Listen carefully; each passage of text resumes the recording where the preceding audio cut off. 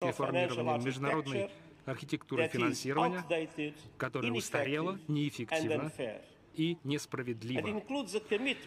Здесь включена и приверженность э, продолжить а, стимулирование цели устойчивого развития, изменить модель бизнеса и серьезно повысить возможности поддержки со стороны многосторонних банков развития и их льготное финансирование в адрес развивающихся стран, которые находятся в уязвимых условиях, представить больше СДР, реструктурировать кредиты для стран, которые тонут в долгах, и мобилизировать больше внутренних ресурсов, как частных, так и государственных, для того, чтобы обеспечить необходимое финансирование в развивающихся странах. В следующем году пройдет конференция по финансированию в целях развития. Саммит по социальному развитию. Это два важных этапа для того, чтобы реализовать соответствующие меры. Мы также отмечаем и важное сотрудничество Юг-Юг. Это не заменяет приверженности и обязательства развитых стран. Но так обеспечивается больший вклад для поддержки развивающихся стран в предстоящих условиях э, для решения и достижения ЦУР.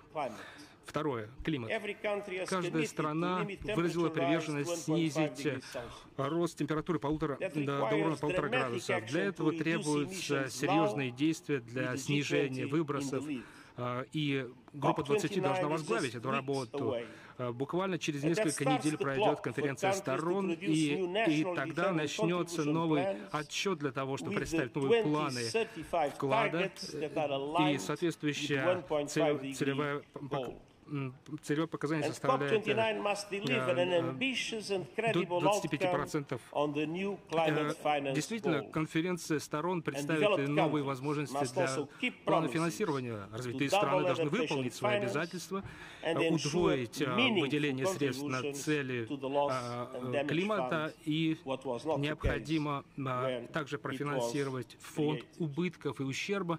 Это не произошло на тот момент, когда он был создан. Третье направление – технологии технологии. Каждая страна должна иметь возможность получить доступ к преимуществам технологий. Глобальный цифровой договор